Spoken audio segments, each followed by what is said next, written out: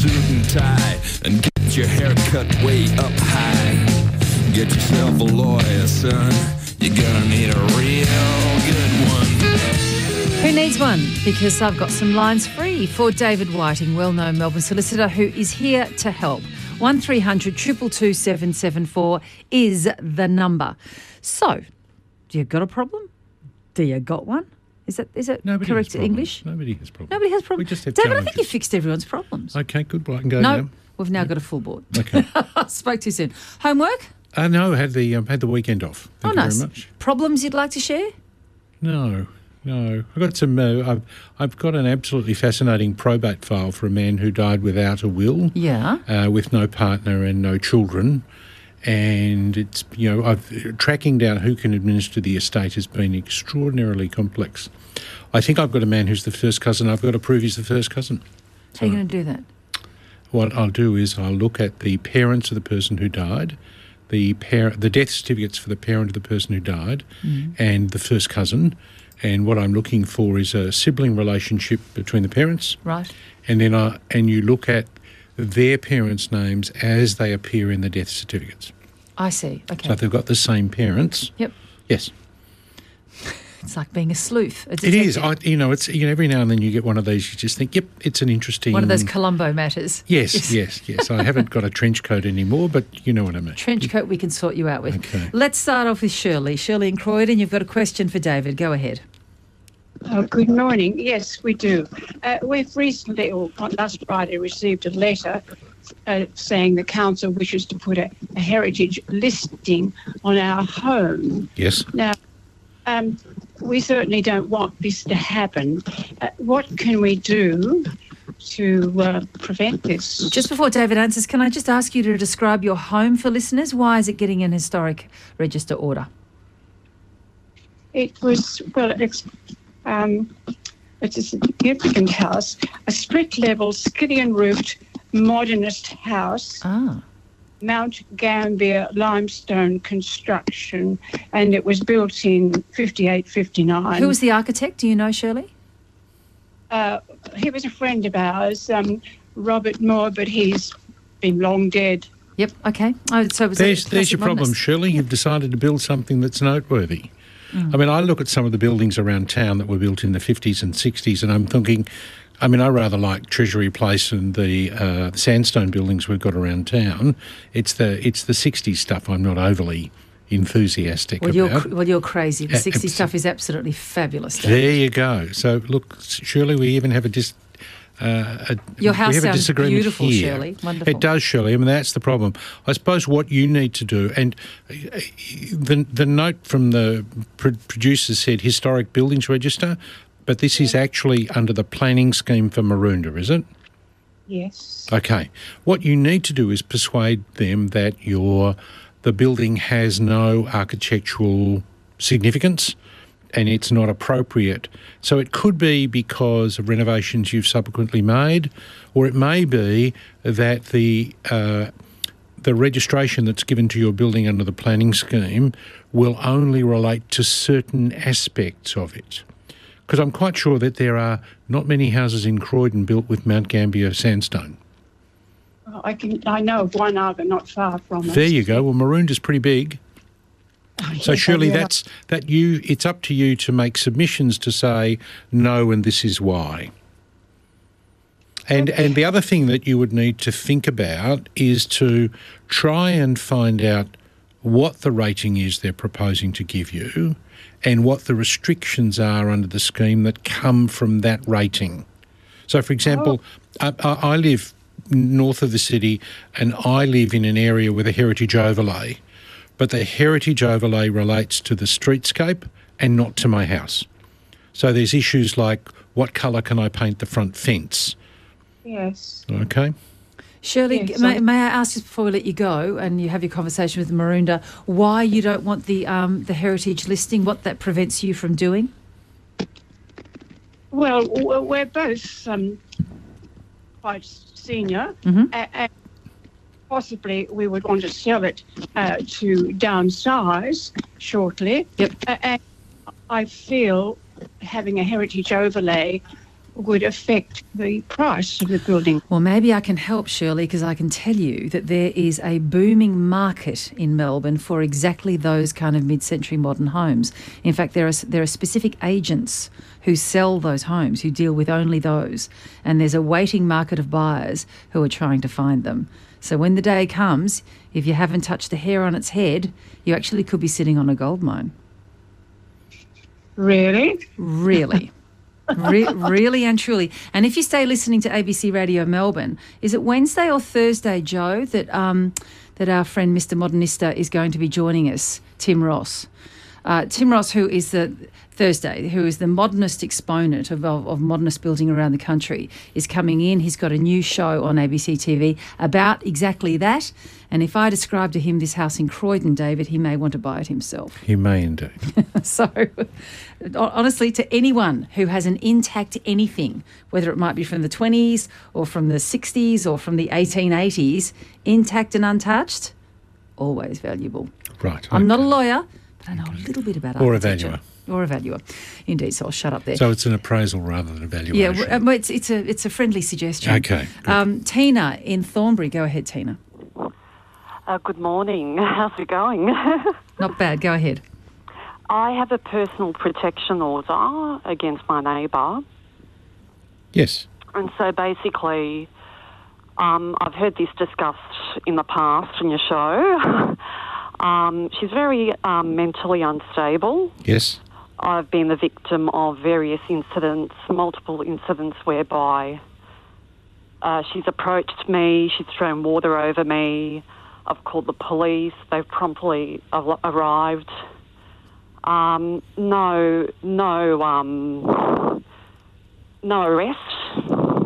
So, uh, Tina, what, uh, it seems to me, Tina, that you want you want her to be taken to court for a breach of a protection order. That's correct. Uh, have But you uh, problem is- specifically asked the police for that? Well, no, I haven't specifically specifically asked as such, but the issue is um, when I've presented in court, for example, the final court hearing, and I've raised the issue of being um, put under surveillance, which is my main concern and the reason for my call. Um, i.e., she's got two large bullet cameras. We live in the Office of Housing. Now, there are two issues at stake here. One, she's breaching the rules in public housing, which um, there, But, but, but Tina, Tina, that's a rule for public housing between the office that provides public housing and the tenant, not between neighbours. So you could you could do a couple of things.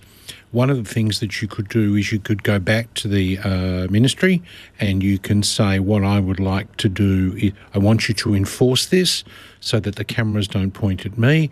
You could also you could also go back go back to the magistrates court and seek to vary the order and in, and and seek the removal of the cameras. That's failed. What I'm actually seeking is um, I need to know who is higher up as such. The, the, the magistrate at the Melbourne Magistrates Court basically suggested that I reach out to someone higher up. In the past, I've reached out to the sergeant and they repeat the same thing. When I called the police recently, So what do the police say?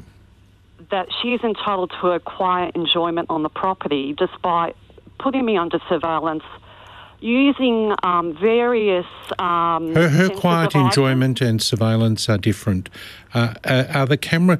Does she say the cameras are live? What does she say? Yes, they've confirmed. They've confirmed. The police have actually confirmed to me recently, a couple of months ago, at my front doorstep. We live in a block of flats. Uh, they confirmed that she has a ring doorbell camera, which is situated at the end of my stairs, which I have to access. It's my understanding, Tina, that that particular camera doesn't act, isn't activated till you press the button saying, "Please let me in." So what should Tina do in Well, this well. Tina can turn around and she could she uh, she could seek a review of the magistrates' court decision not to vary the permit. Mm-hmm. But so the lady's got a the neighbour's got a camera on her doorbell, which Mm-hmm. lots of people now have, but the camera generally doesn't work until you press the button. Otherwise, there'd be a camera running all the time. So she can. Higher up might be that she might be able to appeal the decision in the magistrates' court. um, it's that's her option. Okay. Or she could bring her own proceedings for contempt.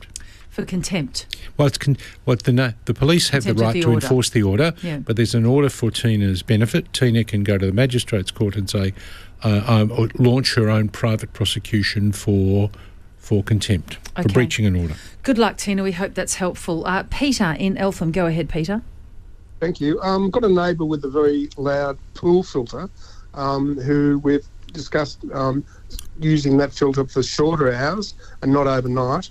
Um, they've turned the overnight cycle off, but it, it runs 12 hours a day, um, and it's it's quite noisy. It's like a you know a gentle industrial noise that really. So, is it's, uh, quite- give us a comparison. Is it as noisy as someone running a generator, say, or not quite? yeah, yes, uh, that's probably in the league of uh, yeah a, a small generator. Yes.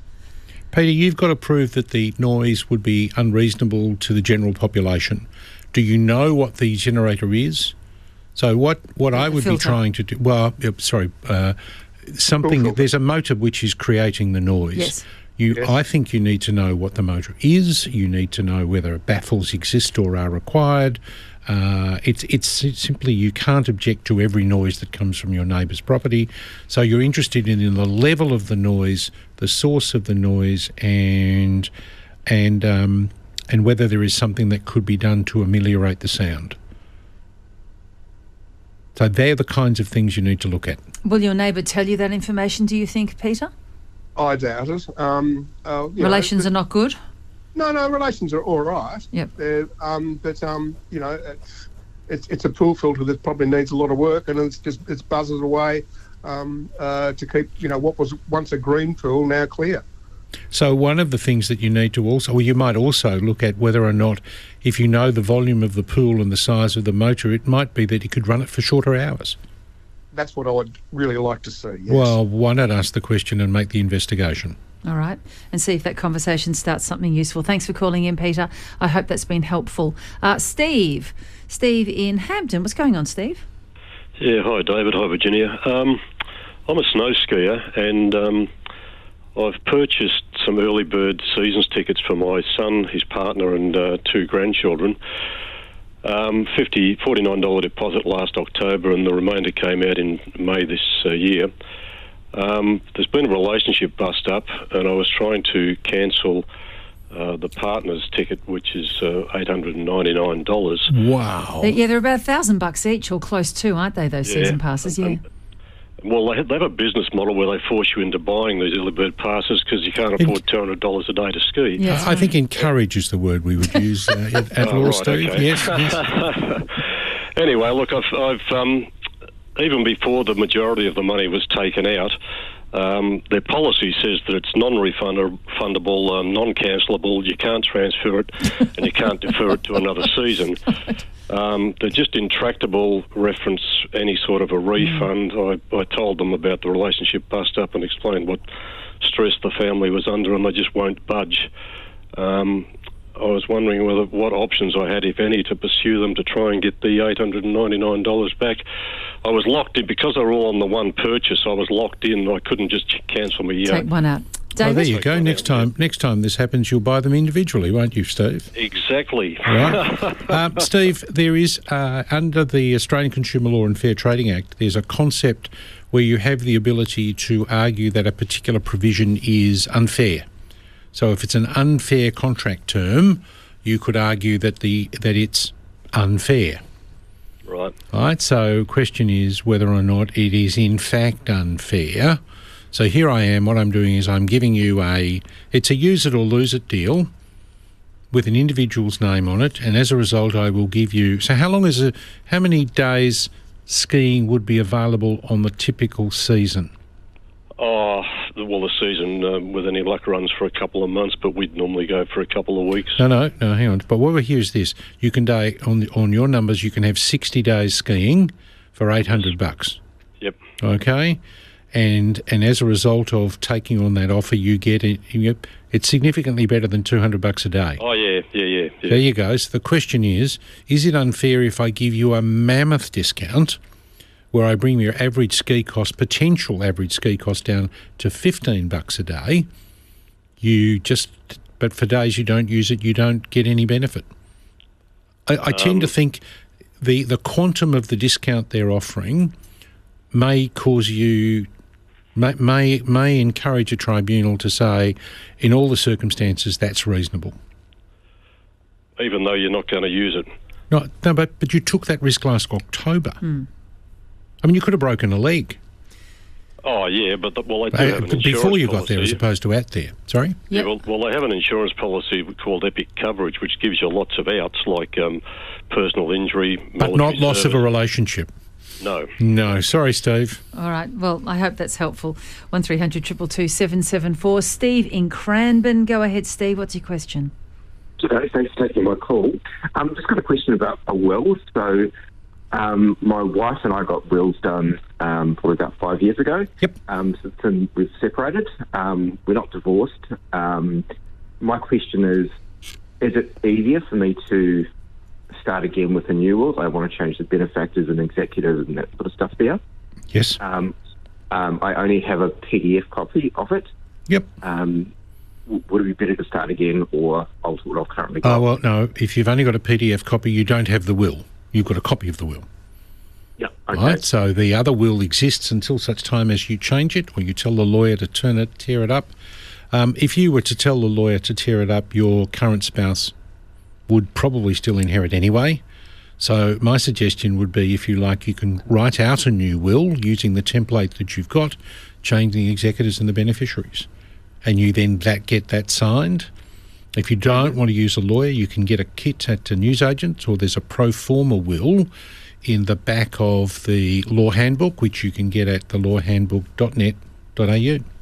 I think we should have a little game. Whenever anyone mentions the law handbook, there has- should be, I don't know, a bell should go off in the studio or something. Are we going to give some I'm on away this commission, year? aren't I? We usually give law handbooks away Yeah, it's a year. bit early in the year. Too Have to early? Yeah, too early, but it'll happen. You'll let me know, won't I you? will. It's one of my favourite days. Martin in Brighton. Hi, Martin. What's going on?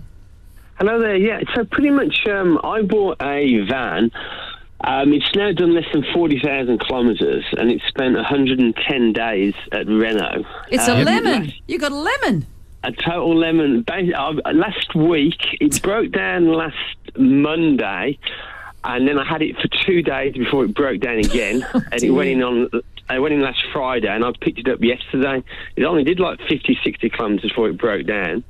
Um, they're- they're Describe, breaking down for me, Martin, or you describe breaking down.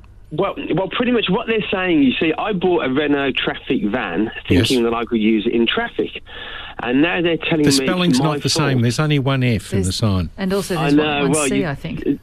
So I bought a Renault Trafic thinking I'd be able to use it in traffic, and I'm I live in Brighton and I'm a local electrician in Brighton, and they're saying it's my fault because I don't take it on the freeway once a week um, for 30 minutes, and because I don't do a completely useless journey of taking it on the freeway. No, no, for no. minutes. Vi- Virginia, you're smiling. I'm rolling my eyes at can what they're I telling say, him. No, no. I had a client who. So it's a diesel, isn't it, Martin? It's a diesel, Right. yeah. yeah so yeah. I had a client who lived in Brighton and worked in Richmond, Yeah. And they had exactly the same problem with an English four-wheel drive. Right. And the argument that was put by the manufacturer was, is that you've got to let the, you've got to run the diesel Right. rather than just potter along. So every now and then you've got to clear the particulate filters, and if you don't, it will. They they have a system that causes the engine to shut down. And, is, when- and is that the- what's going on with you, Martin? That's why Well, it's it shutting is, yes. down? But, the whole thing is, yes, that is exactly what's happening. But the Okay. point is that, that, that I did a lot of research before I bought this van, and, and nowhere on the manual, no on the website, they didn't tell me when I bought the van that this would happen. I spent money having sign writing put on it, putting racking on it. I spent about fifteen thousand on it, and now they're saying, "Well, it's your fault. You've got to go and buy a new van," or you know, I should have known this. It's, and yeah, I mean.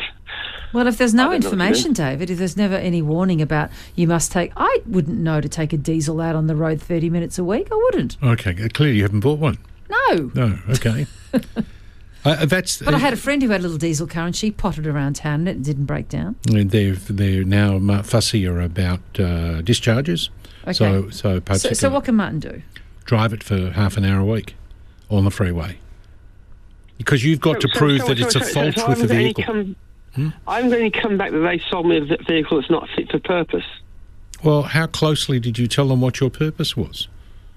So if you walk in and say, I want a Renault Trafic model number such and such, and then they've given you a vehicle that matches your description. If you come along and say, I never draw drive for more than 10 minutes at a time, uh, is this the vehicle for me? Then you've relied on their advice for the choice of the vehicle.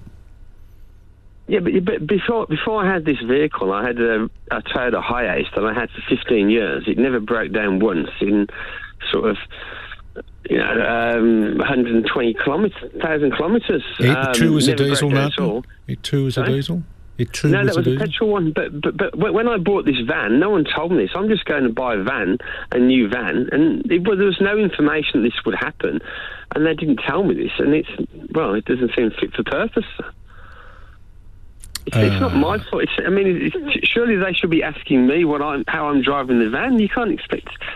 I mean, if it's a Renault Trafic van, you'd think you'd be able to use it in traffic. Well, you can. You've just got to keep it running for quite some period of time. I, I had a friend who lived in Carlton, bought a diesel, and the advice he got from the dealer was take it to the take it to the airport once a week, right? Just up and back the Tullamarine Freeway. Martin, I don't see that it's not fit for purpose. But So if you this- if you think it is, then it's off to VCAT. Would this problem be entirely solved, Martin, by taking it out to the freeway, out to the airport once a week? Would the problem go away and you'd have the truck that you want? Well, well, well they, they've said that, but but I've done it like um, Okay, when so it so the, so the solution is within I- your grasp. When, when, when I did it two weeks ago, I'd actually gone to the Mornington Peninsula and back, Yep. and it broke down the next day. Oh, did it? Um, and, there, and there was another time I was driving to um, Shepparton, and it broke down on Yeah. the way to Shepparton. Wow. So Martin, Martin, you need an engineer's report that says Yeah. what's wrong with your vehicle. The fact that it stops because it's the cause of the stopping, which is the issue, not the stopping. Well, Martin, we'll have to leave it there. So an engineer's report might help, Would- uh, well, without he- it, you would go nowhere. and then he can go back to the manufacturer and say, "Look, guys, this is what's going on." yes. But you don't think at this stage Martin has any argument to say you've sold me the wrong car? I, I would need to analyse the conversation Martin had because Martin did research. Yes. Martin decides I want this van for this size for this Because purpose. it's called a traffic, Yeah. There's only one F in its spelling. and it's one C, and if I remember correctly. But there's only one C in traffic if you, in the English language. really? Oh, you're quite right. Yeah, I, don't know. I had but a there's- in my mind. But in the vehicle, it's one F. Yeah, I know. I've seen. I've seen it on the back. I don't think it's a reasonably good basis on which to decide right. I'd love to disagree with the, you. na- the na- the name of a, the car. The car, yes. The Yes. model number. Yes. No. Uh, all right. Good luck. Sorry, Martin. That's a terrible predicament. David, thank you as always. See you next week. We'll see David Whiting next week. Sorry if we didn't get to your legal calls. Try again next week. As always, more people than we can get to in the half an hour we have allotted.